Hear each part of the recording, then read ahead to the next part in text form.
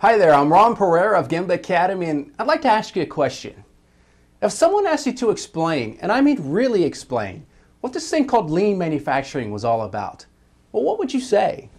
Well, by the end of this video, you'll understand and be able to explain exactly what lean is, and you'll have advanced or perhaps even begun your personal continuous improvement journey.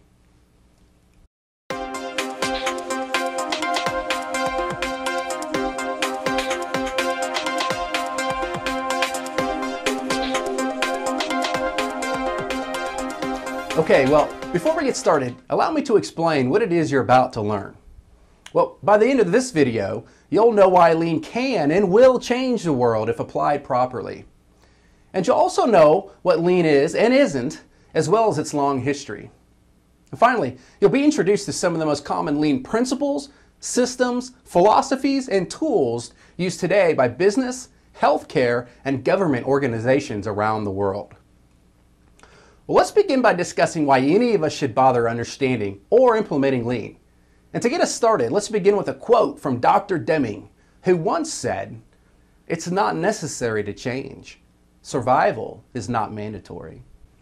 And while it wouldn't be entirely accurate to say that lean and other continuous improvement methodologies, such as Six Sigma, will solve all of the world's problems, the recent global economic crisis we find ourselves in has made it crystal clear that organizations must be willing to change and improve if they hope to prosper and in some cases survive.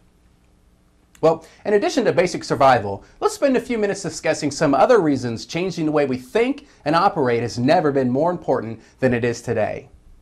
First, world markets are definitely expanding, and the need to compete on a global basis has never been more important. It doesn't matter where in the world you live or work, I promise you someone is working to do it for less and at better quality. Next, because of the tough economic times we find ourselves in, our customers are demanding better quality, delivery, and lower costs like never before.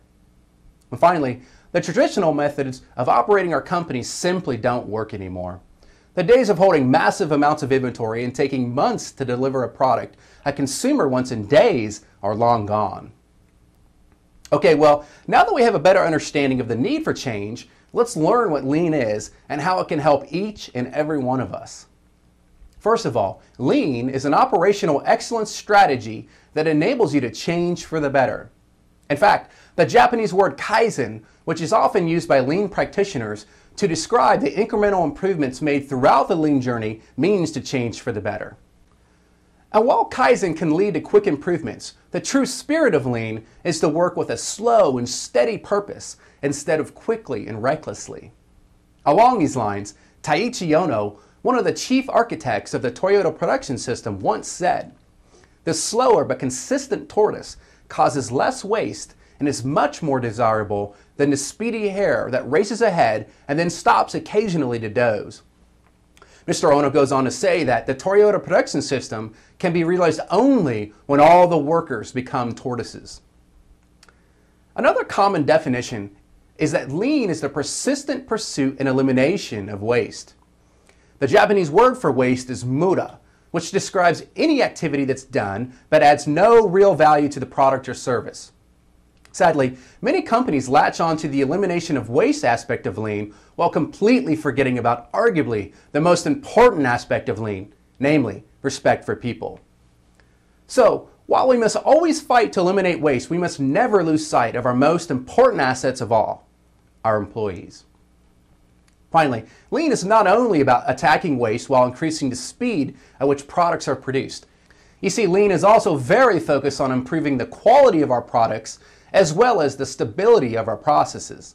In fact, many lean principles such as one-piece flow will never succeed without stable and high-quality processes in place. All right, well, in order to truly understand what lean's all about, it's important to understand its history.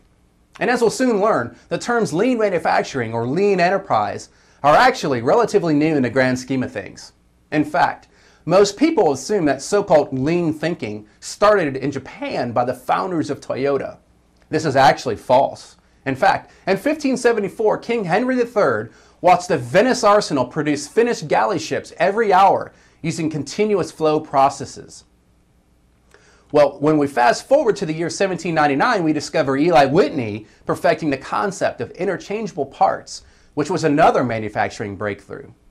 Next, in 1902, a young man by the name of Sakichi Toyota revolutionized the manufacturing world forever with his invention of the Jidoka concept. Simply put, Mr. Toyota discovered a way to make his mother's automatic loom stop running when a piece of thread broke instead of continuing to run while creating excess amounts of wasted product. Little did he know, but the concept of Jidoka, or automation with a human touch, would later become a pillar of the vaunted Toyota production system. A few years later, a man by the name of Henry Ford was busy building an American empire called the Ford Motor Company. And in 1910, Ford moved operations to Highland Park, often referred to as the birthplace of lean manufacturing, due to the continuous flow of parts throughout the massive plant. A year later, in 1911, Sakichi Toyota traveled to the United States in order to study Ford's revolutionary way of producing the Model T. It was shortly after this visit that Mr. Toyota first began to conceptualize what we now call the Toyota production system. Then, in 1938, the just-in-time, or JIT concept was born at Toyota. The basic premise behind JIT is that we only make what we need when we need it, while downstream processes take what they need from upstream processes. When coupled together with the other pillar of TPS, Jidoka, or automation with a human touch, we arrive at what's often referred to as a TPS Stonehenge, which places the concept of thoroughly removing waste while respecting people at the top. 1949 was an extremely important year in the history of TPS, as a young engineer named Taiichi Ohno was promoted to shop floor manager at Toyota. Mr. Ohno would soon become one of the chief architects of the Toyota production system. In fact, Mr. Ohno was the first person to develop the elimination of waste concept, as well as the first to use Kanban to control the amount of work in process produced within the plant.